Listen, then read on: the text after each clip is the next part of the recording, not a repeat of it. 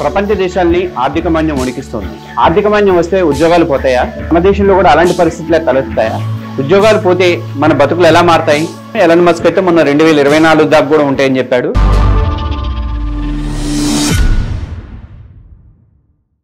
Hi welcome to I reporting view point నా పేరు విష్ణుకుమార్. గత రెండేళ్ళుగా కరోనా పరిస్థితులతో ప్రపంచం మొత్తం తల్లకిందులైపోయింది మన దేశంకి వచ్చేసరికి మన దేశంలో కూడా అలాంటి పరిస్థితులు ఏర్పడ్డాయి. కరోనా తర్వాత మన జీవితాలు చాలా ఇబ్బందులు పడ్డాయి. మనకి వచ్చేటువంటి ఆర్థిక వనరులు తగ్గిపోయాయి. చాలామంది శాలరీస్లో కోత విధించారు. తర్వాత మనకి ఉప్పు ఉప్పులు పప్పులు నిత్యావసర వస్తువులు రెంట్లు పెరిగినాయి కూరగాయలు పెరిగినాయి అన్ని రేట్లు పెరుక్కుంటూ పోయినాయి. ఉత్పత్తి కూడా చాలా వరకు ఏది వీళ్ళు రాక కార్మికులు రాక సప్లై కాక చాలా వరకు ప్రొడక్షన్ అనేది కూడా తగ్గిపోయింది. దానివల్ల రేట్లు పెరుక్కుంటూ వచ్చినాయి. ఆ పరిస్థితులలో మనం ఉద్యోగాలు కాపాడుకోవాలి. మనమంటూ ఒక జీవితాన్ని సాఫీగా ఎలా చక్కదిద్దుకోవాలన్నది ప్రస్తుతం అమెరికా బ్రిటన్ సహా దాదాపు అరవై తొమ్మిది దేశాలలో ఆర్థిక మాన్య పరిస్థితులు అనేవి ఏర్పడ్డాయి. అటువైపు చూస్తే ఉక్రెయిన్ రష్యా యుద్ధం జరుగుతోంది. ఆ యుద్ధం పట్ల పుల్ పడలేదు. ఆ యుద్ధ ప్రభావం మీద ఆహార ఉత్పత్తులు తగ్గిపోయి ఉక్రెయిన్ నుంచి వచ్చేటువంటి ఆహార ఉత్పత్తులు తగ్గిపోయినాయి రష్యా నుంచి వచ్చేటువంటి ఆహార ఉత్పత్తులు తగ్గిపోయినాయి. దానివల్ల ప్రపంచవ్యాప్తంగా ఆహార సంక్షోభం అనేది కూడా ఏర్పడిపోయింది. ఇటు వచ్చేసరికి చైనాలో మళ్ళీ కరోనా కేసులు పెరుగుతున్నాయి లాక్డౌన్లు ఒక్కొక్క సిటీని విధించుకుంటూ వస్తున్నారు. ఇట్లా ఇబ్బంది పడుతున్నారు. ఈ అన్నీ ఉన్నాయి. కానీ మన దేశంలో మాత్రం ఆర్థిక ఇబ్బందులు ఎట్లాంటివి ఉండవు ఆర్థిక మాన్యం రాదు అని చెప్పేసి మన ఆర్థిక మంత్రి నిర్మలా సీతారామన్తో పాటు కొందరు ఆర్థికవేత్తలు కూడా చెప్తున్నారు రిజర్వ్ బ్యాంకు డేటా చూస్తే మన దేశంలో కూడా ఫోర్ టైమ్స్లో ఫోర్ టైమ్స్ ఈ ఆర్థిక మాన్య పరిస్థితులు ఏర్పడ్డాయి. అది ఎప్పుడెప్పుడంటే పంతొమ్మిది వందల యాభై ఎనిమిదిలో పంతొమ్మిది వందల అరవై ఆరులో పంతొమ్మిది వందల డెబ్బై మూడులో పంతొమ్మిది వందల ఎనభైలో నాలుగు సార్లు మన దగ్గర ఆర్థిక మాన్య పరిస్థితులు ఏర్పడ్డాయి. ఇక ఇరవై ఇరవైలో మనం అనుకున్నాం కదా ఇంతకుముందు చెప్పుకున్నట్టుగా కరోనా కేసులు పెరిగినప్పుడు దాదాపు ఎకానమీ అనేది కూడా పూర్తిగా తల్లకిందలైపోయింది. ప్రపంచ దేశాల్లో ఏర్పడుతున్నటువంటి అంటే ముఖ్యంగా అమెరికా బ్రిటన్ లాంటి దేశాలలో ఏర్పడినటువంటి ఆర్థిక మాన్య పరిస్థితులతోటి మన ఐటీ రంగం కూడా చాలా కుదేలైపోయింది. ఐటీ రంగానికి వచ్చేటువంటి ప్రాజెక్టులు మొత్తం తగ్గిపోయాయి. దానివల్ల ఏమై ఏమైంది?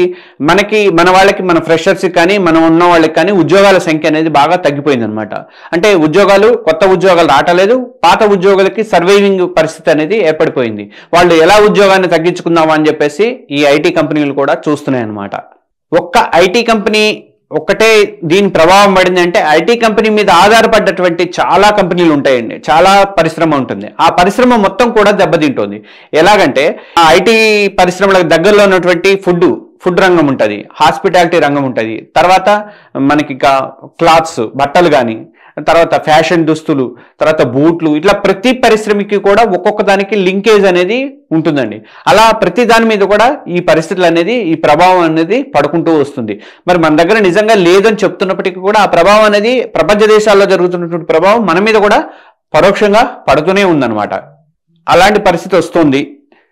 మనం ఏం చేయాలి? ఆర్థికమాన్య పరిస్థితులు రెండు వేల ఇరవై మూడులో రెండు వేల ఇరవై నాలుగు దాకా కూడా కంటిన్యూ అవుతాయని ఆ ఎక్స్పర్ట్స్ ఎకనామికల్ ఎక్స్పర్ట్స్ చెప్తున్నారు. మరి మనం ఏం చేయాలి? ఈ ఈ పరిస్థితులలో మనం ఎలాంటి ప్లానింగ్ అనేది వేసుకోవాలి అని కొంతమంది ఆర్థిక శాస్త్రవేత్తలు కొన్ని సూచనలు చేశారు. ఆ సూచనలు మీ ముందుకు తెస్తున్నాను. అందులో భాగంగా మనము శాలరీలో మనకు వచ్చేటువంటి శాలరీలో థర్టీ పర్సెంట్ పొదుపు కోసం పక్కన పెట్టుకోవాల్సిన పరిస్థితి ఉంది. ఎందుకంటే ఆ ముప్పై శాతం అలా ఉంటే డెబ్బై శాతం మనం ఎన్ని ఖర్చులు పెట్టుకున్నా మనకున్నటువంటి అద్దెలు కానీ నిత్యావసరాలు కానీ మరి ఇంకా వేరే విధమైనటువంటి అన్ని అవసరాలు ఈఎంఐలు కానీ ఏదైనా తీర్చుకోండి మీరు. మిగతా సెవెంటీ పర్సెంట్ తీసుకొని థర్టీ పర్సెంట్ మాత్రము మనకి ఆ అమౌంట్ని అలా ఫిక్స్ చేసి ఉండాలి. దాంట్లోనే ఎమర్జెన్సీ ఫండ్ని కొంత ఏర్పాటు చేసుకోవాలి. అంటే మనకి ఫిక్స్డ్ డిపాజిట్ రూపంలో ఎమర్జెన్సీ ఫండ్ అనేది ఏర్పాటు చేసుకుంటే మూడు నుంచి ఆరు నెలల వరకు మన ఉద్యోగం పోయినా కానీ మూడు నుంచి ఆరు నెలల వరకు మనకి ఎమర్జెన్సీ ఫండ్ అనేది మస్ట్గా ఉండాలి. మన మెయింటెనెన్స్కి ఉండాలన్నమాట అంటే మనం జీతం ఎంత అయితే వస్తుందో మనకి యాభై వేలు వస్తుందో అరవై వేలు వస్తుందో ఆ జీతాన్ని తగ్గట్టుగా మనకి ఆ ఫండింగ్ అనేది ఉంటే అప్పుడు మనకి ఆ డబ్బులు మనకి జీతంలాగా తీసుకొని ఆ ఎమర్జెన్సీ ఫండ్ నుంచి ఖర్చు పెట్టుకోవడానికి అవకాశం అనేది ఏర్పడుతుంది అనమాట ఇది ఒకటే నెంబర్ వన్. నెంబర్ టూ సూత్రం ఫస్ట్ ఏమిటో థర్టీ పర్సెంట్ ఉండాలి. నెక్స్ట్ ఎమర్జెన్సీ ఫండ్ అనేది ఉండాలి. ఈ రెండు సూత్రాలుతో పాటుగా మిగతాయి చూద్దాం. మూడో సూత్రం ఏంటంటే మనము ఖర్చులు తగ్గించుకోవాలి. ఈ పరిస్థితులలో మనకి ప్రతిదీ ప్రతిదాన్ని కూడా అంచనా వేసుకుంటూ ఈ అవసరం ఉందా ఈ ఖర్చు పెట్టుకోవాల్సిన అవసరం ఉందా అనేది చేసుకొని దాన్ని బట్టి మనం ఖర్చులు తగ్గించుకోవాలి. ఖర్చులు తగ్గించుకుంటేనే మనం చాలా వరకు గెట్టిన అవ్వగలుగుతాము ఆ డబ్బుల్ని మనం పొదుపు చేసుకోవడానికి అవకాశం అనేది ఏర్పడుతుంది. క్రెడిట్ కార్డులు అండి ప్రతి ఒక్కరం అందరం కంపల్సరీగా క్రెడిట్ కార్డులు వాడుతున్నాము. క్రెడిట్ కార్డులు వాడేటప్పుడు మనకి మామూలుగా మనం డబ్బులు ఖర్చు పెట్టేటప్పుడు డబ్బులు తీసి మనం పైసలు ఇస్తున్నప్పుడు కౌంటర్లో పైసలు ఇస్తున్నప్పుడు ఇంత ఇస్తున్నాం ఇంత ఖర్చు పెడుతున్నాం అనే ఫీలింగ్ ఉంటుంది. కార్డుల సిస్టమ్ వచ్చిన తర్వాత ఈ డిజిటల్ ఎకానమీ ఏమో కానీ మనం ఈ వీటికి అలవాటు పడ్డాక ఏమైందంటే మన కార్డు ఎంత వచ్చినా సరే గీకేస్తున్నాం. దానివల్ల మనకి ఎప్పుడు వస్తుందంటే అది ఫస్ట్ తారీఖు మనం బిల్లు కట్టేటప్పటికి నలభై ఐదు రోజుల తర్వాత మనకు వస్తుంది కదా.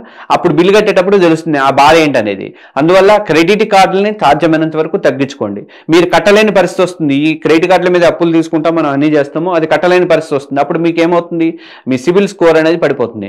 అది ఒక ఎఫెక్ట్ పడుతుంది. మీ యొక్క మీకు రేపొద్దున లోన్స్ రావడానికి కానీ దేనికైనా సరే అత్యవసరాలకు వినియోగించుకోవడానికి అది చాలా ఇబ్బందికర పరిస్థితి ఏర్పడుతుంది కాబట్టి క్రెడిట్ కార్డుని సాధ్యమైనంత వాడటం తగ్గించుకోండి. వాడని క్రెడిట్ కార్డులు ఏమైనా ఉంటే వాటికి కస్టమర్ కేర్కి ఫోన్ చేసేసి వాటిని రిటర్న్ చేయండి బ్లాక్ చేసేసేయండి. అది బెటర్. హెల్త్ పాలసీ అండి.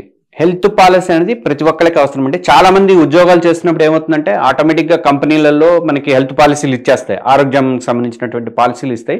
అమౌంట్ మనకి ఎంత ఖర్చు అయినా కానీ ఐదు లక్షల ఖర్చు అయినా ఆరు లక్షల ఖర్చు అయినా ఆ అమౌంట్ అనేది కంపెనీ నుంచి వస్తుంది కాబట్టి ప్రాబ్లం లేదు. కానీ ఇప్పుడున్న ఆర్థిక మాన్య పరిస్థితులలో జాబ్స్ పోయే అవకాశాలు ఉంటాయి కాబట్టి తప్పనిసరిగా మీకంటూ సొంతంగా హెల్త్ పాలసీ అనేది మస్ట్గా ఉండాలండి. ఎందుకంటే మనం కరోనా పరిస్థితుల్లో చూసాం కదా ఇన్ని లక్షలు ఖర్చు అయినాయి ఐదు లక్షలు పది లక్షలు ఇరవై లక్షలు ముప్పై లక్షలు ఇష్టం వచ్చినట్టు ఖర్చు అయిపోయినాయి అలా ఖర్చు అయినవి ఏంటంటే హెల్త్ పాలసీ ఉన్నోళ్ళు బతికి బయటపడ్డారు. లేని వాళ్ళు పాపం అలానే ప్రాణాలు వదులుకోవాల్సిన పరిస్థితి ఏర్పడింది. అందువల్ల హెల్త్ పాలసీ మీకు ఒకవేళ జాబ్ పోయింది అనుకోండి ఆ జాబ్ పోయినప్పుడు జాబ్తో పాటు హెల్త్ పాలసీ కూడా ఆగిపోతుంది. అందువల్ల మీకు సొంతంగా ఉండటం అనేది చాలా ముఖ్యము. ఎందుకంటే విదేశాలలో అమెరికా లాంటి దేశాలలో ప్రతి ఒక్కరికి కూడా హెల్త్ పాలసీ ఉంటుంది.